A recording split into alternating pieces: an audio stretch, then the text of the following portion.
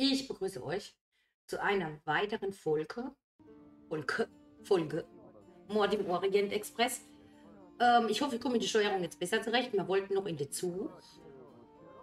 Und das werden wir jetzt tun. So, wo müssen wir hin? Ist der Aufzug? Nur will ich eigentlich nicht mehr. Dann ich drück mal A. Ah, Y war die. Mhm, fängt schon an. Sprich, mit Captain, das haben wir alles gemacht. Konnte der auf den Tisch gewinnen haben? Das haben wir ja abgeschlossen eigentlich. Verlasse das Hotel. Gut. Nein, du will ich dich nicht. Verlasse das Hotel. Okay, dann verlassen wir das Hotel. B zurück. Na, ich komme noch nach. In welche Richtung müssen wir dann? Hier entlang. Treppe runter. Ja, das sieht gut aus. Es sieht mal stark noch Ausgang aus. Unsere Taschen sind gepackt. Ich habe mein Ticket und meine Papiere. Wenn Sie mir Ihre geben? Ich trage meine lieber bei mir. Aber als Ihr Sekretär... Als mein Sekretär sind Sie für mein Gepäck verantwortlich, Hector. Ja, jawohl, Sir. Dieser Mann, er äh, kommt mir sonderbar vor, als ob ich ein äh, wildes Tier beobachten würde. Aha. In freier Wildbahn. Mhm. Interessant. Hallo, ist ich mit dir noch sprechen? Wir müssen zum Bahnhof fahren. Unser Gepäck ist im Taxi. Na, sehr Haben schön. Sie das Ticket gefunden? Es äh, war ein äußerst schwieriger Fall, aber irgendwie gelang es Hercule Poirot, ihn zu lösen. Ich wusste, dass Sie es schaffen. Jetzt können wir uns zurücklehnen und eine entspannte Zugfahrt genießen. Ah, sehr schön. Schließe Kapitel 0 ab. Das hätten wir dann getan. Agatha Christie's Bücher wurden in über 100 Sprachen veröffentlicht, was sie zur meist übersetzten Schriftstellerin aller Zeiten macht. 1971 wurde ihr von Königin Elisabeth II. für ihre Verdienste um die Literatur der Adelstitel Dame verliehen. Sehr schön. Ja, Agatha Christie ist einfach spannend. Ne? Ui, ui, da- das dauert. Der Ladebalken dauert. Ich werde es wahrscheinlich cutten. Hätte ich letzte Folge noch dran hängen können, ne? aber ich dachte ja nicht, das ist so lange. Bahnhof Istanbul, 15. Dezember 23, 15 Uhr. Ja, bei uns ist am 15. Dezember etwas kälter. Schätzen Sie sich glücklich, Poirot.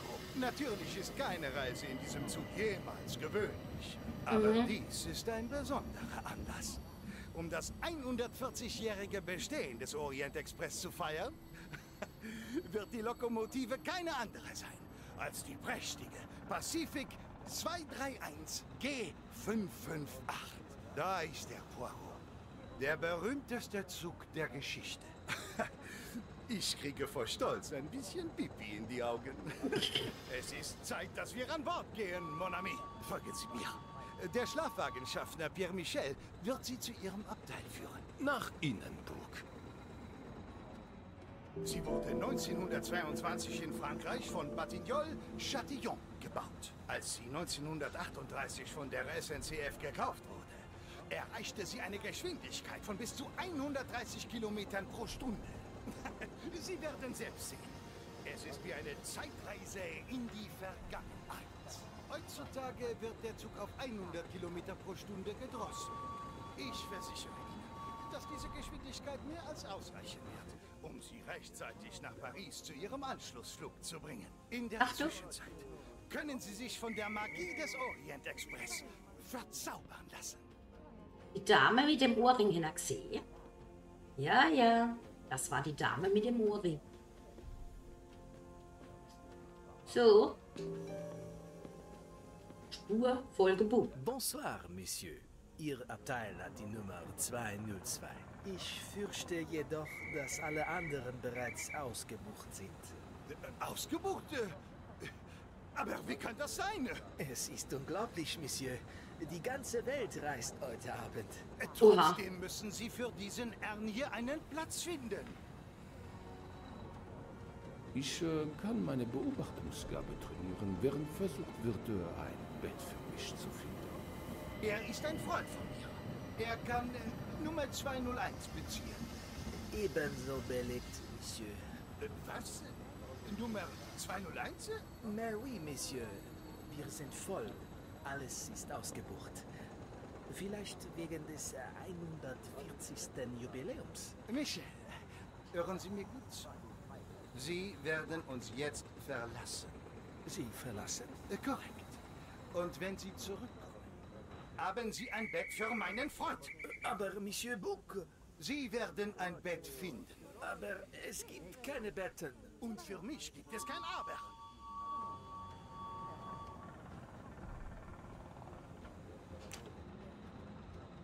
Es ist die junge Frau aus dem Hotel. Sie möchte wieder den alten Mann mit seinem kleinen Freund beobachten, aber selbst nicht gesehen werden. Okay. Interessant. Was haben wir noch? Da ist er dann. Gucken wir doch mal. Wurde alles an Bord gebracht, Hector. In Ihr Abteil, Mr. Ratchet. Ich lasse das Zimmer erneut desinfizieren, wie Sie es angeordnet haben. Ich habe auch einen Anruf von den Indern erhalten. Der Verkauf geht wie erwartet über die Bühne. Es gab nie einen Zweifel daran. Keine weiteren Anrufe, Hector? Aus Genf oder aus Venedig? Nein, Sir. Welchen Anruf erwarten Sie? Geht Sie nichts an. Prüfen Sie unsere Tickets. Wir gehen nicht an Bord, bevor nicht alles bestätigt ist. Der junge Mann wirkt sehr freundlich. Aber der andere, der ältere Mann, ist da ganz anders.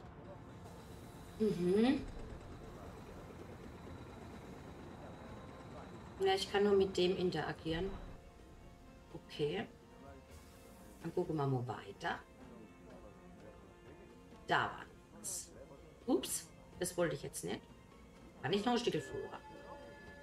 Bitte, ich würde gerne noch ein Stück vor. Geht nicht. Okay. Kann ich nur die zwei? Die, die beobachtet, die saß auch im Hotel. Ne, du ist noch ein junger Mann mit dem Handy natürlich in der Hand. Kann ich aber auch nicht interagieren. Warum nicht? Doch jetzt. Liebling, wir müssen an Bord gehen. Ich weiß, ich weiß. Ich habe schon von Flugangst gehört, aber Zugangst? Jetzt mach dich nicht noch über mich lustig. Oh Gott, die Arme. Niemals, mein Liebling. Sobald unser Abteil fertig ist, gehen wir an Bord. Aha. Okay. Zugangst. Ja, es ist aber manchmal, ach so, irgendwie, ja, also Zugangst habe ich jetzt nicht. Aber es ist manchmal irgendwie auch komisch. Guck mal, das ist die Dame mit dem Ohrring. Ich bin gespannt.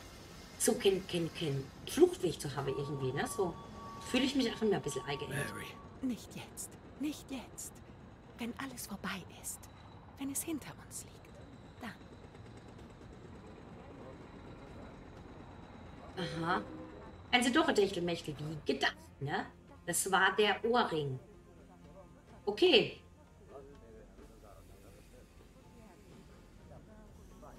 So, dann haben wir jetzt aber nichts mehr zu tun. Dann würde ich jetzt doch gerne in den Zug gehen. Auszoomen. Jo. Ah, da gibt's noch was. Warum hast du so viel Hummer bestellt, Totaro?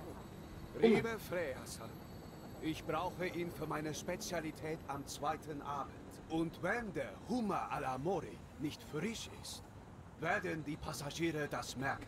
Wir haben nicht genug Platz für meine Desserts. Heute Abend Schokoladenkuchen mit geschmolzenem Kern, morgen meine Spezialität. Das ist nicht mein Problem. Die Gäste werden ohnehin keinen Platz für Dessert haben. Servier dein Hummer heute Abend. Hühnchen à la Mori muss das erste Abendessen für die Reisenden sein. Es ist leichter zu verdauen. Ach, du bist wirklich der Egomane, für den dich alle halten. Aus gutem Grund. Ich bin die Rock. Du nur ein Waggon. Oh, hallo? Fangen die erste Streitigkeit schon an, ne? Warum? Ich bin zutiefst beschämt. Schön und gut, es ist das 140. Jubiläum, aber wer hätte denn mit einer solchen Welle an Passagieren rechnen können? Hm? Aha. Neue Verbindung, Passagiergespräche Mannheim. Dann schauen wir uns die doch mal an. Ähm, ich soll das mein Beobachten auf den Bahnschlüsse ziehen. Okay, dann ziehen wir mal Schlüsse. Schaff was Großes. In welcher Beziehung steht der Junge zum Älteren? Er ist sein Sekretär. Definitiv, oder? Oui. Ui.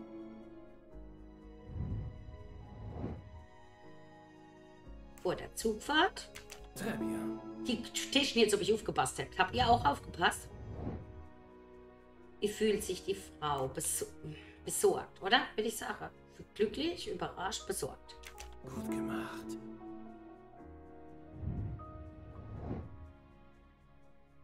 Zwei Köche, worüber streiten. In Magermöglichkeiten des Kochen im fahrenden Zug, ihre kleine Unterkunft.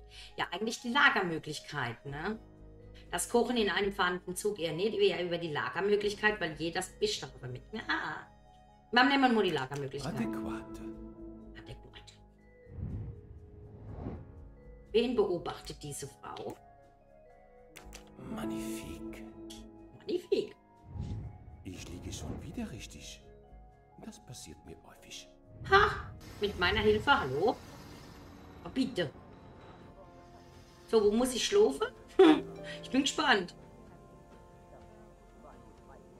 Finde Monsieur Bou und... Mo Wieso soll ich die finden? Die, die stehen doch vor mir. Poirot, wir haben eine Lösung. Ein Passagier ist noch nicht gekommen. Ein Engländer namens Monsieur Arist. Ein Name mit gutem Omen. Na, es ist Zeit zur Abfahrt. Was kümmert mich an Monsieur Aris? Wie Monsieur wünscht. Ich habe Ihr Gepäck direkt in Ihre Abteil bringen lassen. Leider wird Ihnen ein anderer Passagier Gesellschaft leisten. Oha. Nur für die erste Nacht. Es geht nicht anders. Ich werde es überleben, mon ami. Monsieur Book, im Kühlschrank der Küche ist nicht genug Platz, um alle meine Zutaten unterzubringen. Wie kann das sein? Seine Rezepte sind so extravagant. Wir müssen etwas auf dem Bahnsteig zurücklassen. Ohne meine Hummer, ohne mich. Und die Passagiere des Orient Express müssen Ungarn? Niemals! Muss ich eingreifen? Das Problem ist eines Poiros unwürdig. Aber ich habe nicht die Absicht, im luxuriösesten Zug der Welt zu verhungern. Okay. Wenn du nicht verhungern willst, geh mal hinterher. Y. Da unten. Löse das Problem mit der Lagerung. Der Chefkoch und die Konditorin können nicht alle ihre Vorräte im Kühlschrank der Bordküche unterbringen. Ich sollte ihnen zur Hand gehen und sei es nur um meinen Gaumens Willens. Ja, ist klar. Okay. Vielen Dank für Ihre Hilfe. Es ist unmöglich, alles im Kühlschrank der Gary unterzubringen. Selbstverständlich sind meine Hauptgerichte wichtiger als das Dessert. Wenn Mr. Maury seine Hummer ein oder zwei Tage später servieren würde, könnten wir an einem anderen Bahnhof unsere Vorräte wieder auffüllen. Später? Du verlangst von mir, dass ich meine Spezialität später serviere, Freya-san? Beruhigen Sie sich, mon ami. Ich bin sicher, dass wir eine Lösung finden.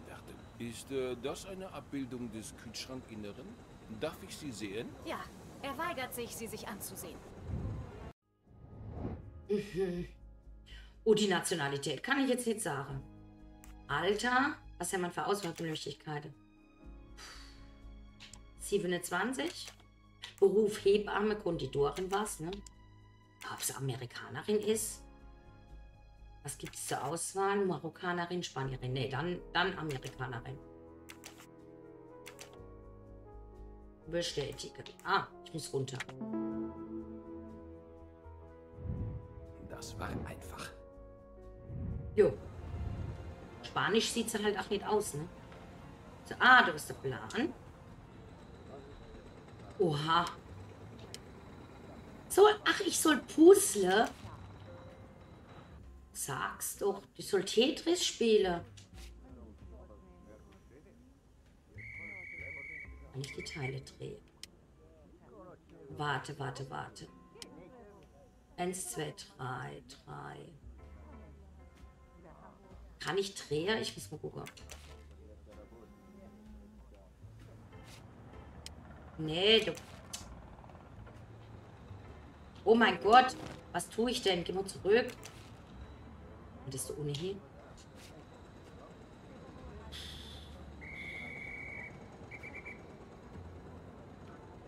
Ja. Hier runter. Dann das. Jetzt sieht es mal schlüssig aus, ob es am Ende passt, sei dahingestellt, ne? Ähm.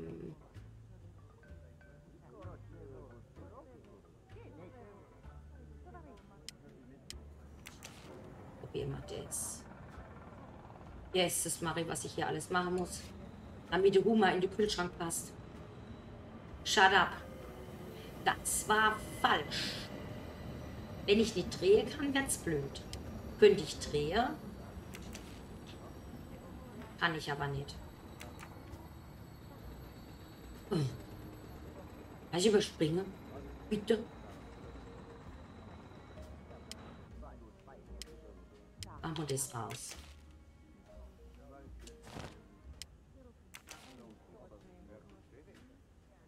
Ich jetzt gerade mal die Geduld zu hier. Hallo? Das passt nicht, das passt nicht, das passt nicht, das ist auch falsch. Aber ich habe eine bessere Idee. Erstmal raus. Oh, jetzt bin ich ganz raus. Fangen wir nur an.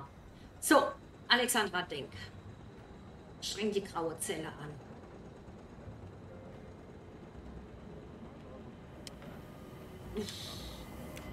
Probieren es nochmal mit dem zuerst schieben dann du ins drunter, wenn es passt. Ja, das. Ne, das nicht. Was kennst du drunter? Nö. Also das wieder weg. Ach komm. Gibt's, gibt's irgendwo Springe? Überspringen bitte.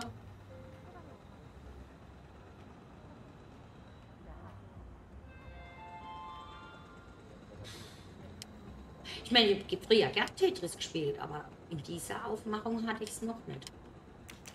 Immer probieren nochmal das ohne, wo man es zuerst hat. Ne? Probieren das oben drüber.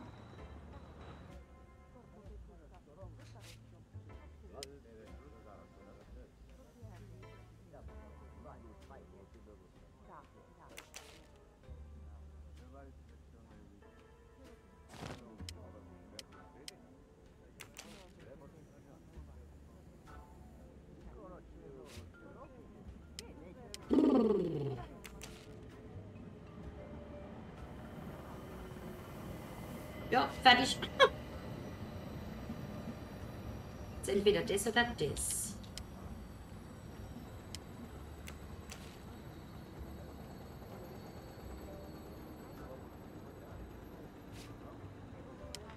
Oh, Hilfe.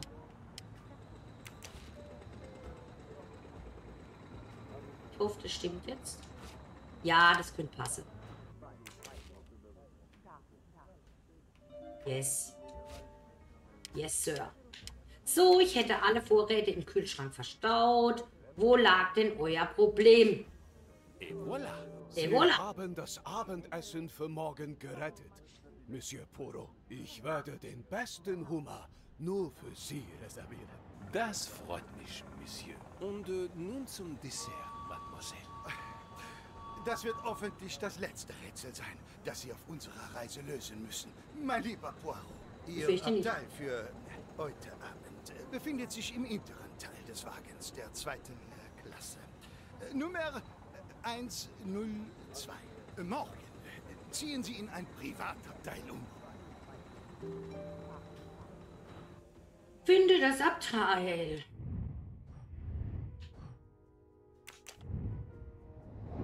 Cook hat mir gesagt, dass das Abteil, ich muss es finden. Gut, dann gucken wir uns unser Abteil nochmal an. Im hinteren Teil. Ja gut, ich gucke mal jetzt einfach mal. Ups, da ist die Tür. Guten Tag. Willkommen, Monsieur Poirot. Ich entschuldige mich für die Verzögerung. Vielen Danke. Dank, Monsieur Michel. Ich bin froh, dass Sie mich unterbringen konnten. Genau. Ein da.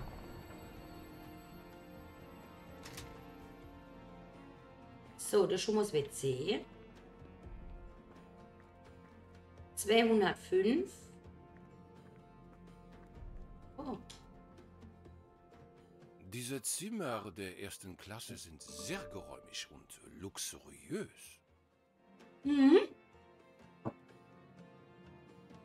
Mal, das war 205. 203. Oh je. Wer bist denn du? Pardon? Oh, ich bitte um Verzeihung. Danke. Guck mal jetzt nicht jedes Zimmer an, oder? Ja, hier geht's lang. Zweite Klasse. Das WC gucken wir aber mal rein, oder? Moment. Ich will mich nur kurz umgucken. Aber geht doch. Also für Zugwisse ist doch das jetzt nicht schlecht, ne? Warte, ich zoome wieder raus. Ja, da muss ich ein bisschen klarkommen mit der Steuerung. So, Zimmer 102, 106, 105, 104, 103, 102. Bitteschön. Da wären wir. Ach, mit dir? Entschuldigen Sie, ich glaube, Sie sind hier falsch. Nee, ich glaube nicht. Monsieur Harris? Nein, mein Name ist McQueen. Ich. äh, McQueen. Es gibt keinen anderen Schlafplatz im Zug, Monsieur. Alles ist vorbereitet. Sie haben das obere Bett. Abfahrt ist in einer Minute. Der Zug ist erstaunlich voll. En voiture! Sir, wenn Sie lieber das untere Bett haben wollen, der Einfachheit halber, Sie wissen schon. Es würde mir jedenfalls nichts ausmachen. Nein, nein, Sie sind zu nett. Es ist nur für eine Nacht. Bis Belgrad. Oh, verstehe schon. Sie steigen in Belgrad aus. Nicht ganz. Der ist aber wirklich nett und zuvorkommend, ne? Muss man sagen. Okay, hier würde ich aber dann achte Cut machen, weil wir sind jetzt schon bei 22 Minuten. Ist interessant, dass wir ausgerechnet dort übernachten, ne?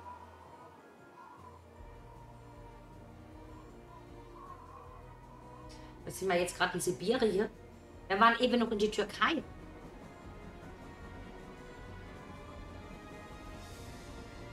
Dann weiß ich, ne?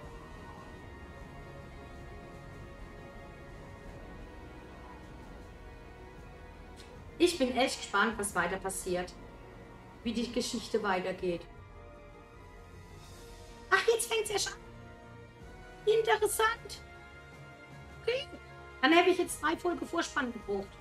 Entweder bin ich zu langsam oder der Vorspann ist zu lang. Ich würde sagen, zweiteres. Definitiv.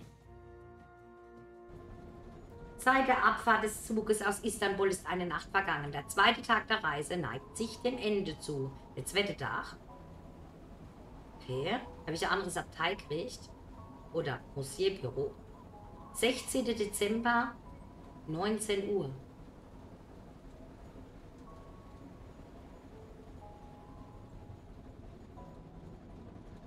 Erste Klasse.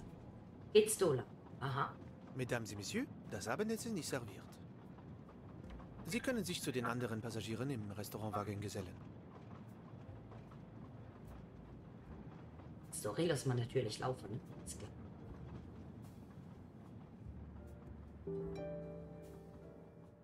Triffbuch im Restaurant walken. Genau. Das machen wir in der nächsten Folge. Ich danke euch fürs Zusehen, für eure Zeit. Wünsche euch einen schönen Tag und bis bald. Ciao. Vielen Dank fürs Zuschauen. Über ein Like und Abo freue ich mich natürlich. Und ein Kommentar ist immer sehr schön. Vielen Dank und bis zum nächsten Mal.